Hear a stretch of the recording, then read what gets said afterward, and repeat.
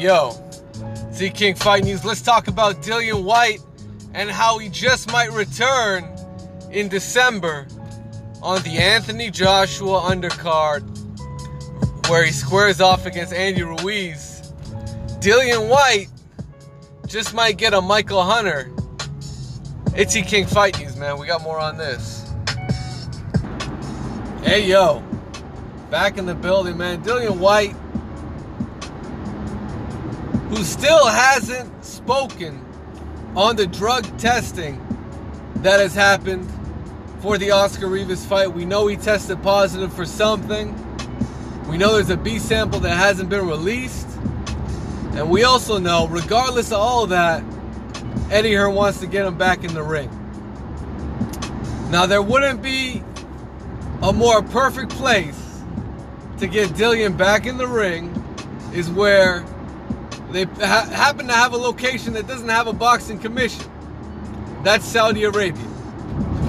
Right? No boxing commission out there. So they could definitely have Dillian Whyte square off against anybody out there. Um, I, if that fight goes down with Dillian Whyte, I'd like to see it against Alexander Povetkin. That's the fight I want to see. I wouldn't want to see a Michael Hunter square off against Dillian Whyte. Michael Hunter is a small heavyweight. he's, a, he's he's pretty much prospect status to me. Still trying to make a name for himself. If he wants to break into the top five, maybe that's a, a route to go. If you want to make a statement, yeah, yeah, I'm the guy that beat Dillian Whyte. But who knows what what Dillian Whyte's really been taken. And who knows if there would be actual drug testing if he were to be fighting in Saudi Arabia. Those are the questions that need to be asked. Especially if you're a Michael Hunter in line for a fight on a, on an AJ undercard. You know, do you want to fight Povetkin? Maybe maybe they'll X Dillian Whyte out and make Michael Hunter versus Alexander Povetkin. Right? Then again, better make sure he's fucking drug tested. That's why I'd rather have Povetkin Dillian Whyte. If the, if the, if Dillian Whyte's gonna gonna be fighting, you might as well fight Povetkin. Because then the juice will just cancel each other out. it's very simple. You know, that shit will just cancel out and then we got a good fight on our hands. But Dillian Whyte's in a weird position. Because uh, guess what? WBC hasn't taken him off the rankings.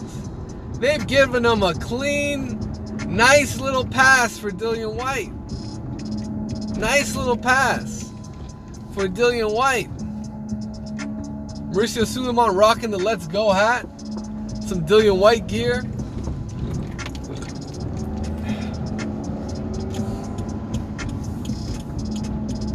And honestly, I mean, this is state of boxing, man. Guys that guys that pay their fees you know, and Dillian Whyte's paid a whole lot of sanctioning fees, going all the way back to that silver title when he beat Robert Helenius.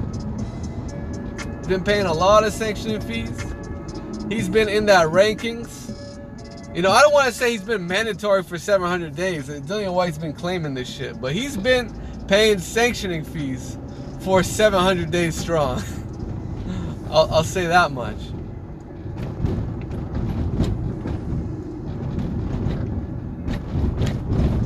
So WBC's been making some decent bread off of Dillian Whyte. So do you expect the WBC to then turn around and say, oh, you know what? We're going to have to remove you from the rankings. when they've probably made something of at least 500K off, off of Dillian Whyte alone. And all them sanctioning fees. Maybe even more. Right? WBC is getting what, 5 or 10% of a purse? That's over a million dollars. Hey. Uh, and, and you get that for every fight Dillian Whyte has been doing for the past how long? 700 days, that's that's at least two years. So it adds up, man. It all adds up. Uh, what do you guys think about the current situation with Dillian Whyte, Eddie Hearns, you know, basically finding a way to bring him back into the fold. You know, if you're if you're in the UK, what do you think about Dillian Whyte? He passed all his VADA testing, but he failed. Uh, he failed. He failed for Dianabol, man. Point blank, period. He tested positive for Dianabol. At least that's what was reported. And there hasn't been any evidence to, to, that's come out that directly refutes the idea that Dillian Whyte tested positive for Dianabol. Hasn't been any evidence that came out to refute that. So y'all know what it is, man. It's E King Fight News. Let me know what you guys think. What do you think about Dillian Whyte coming back? And that's all we got for now. Smash the like button. And subscribe to the channel if you haven't already for more boxing. Hey, stay tuned. But for now, we're gone, man. Peace.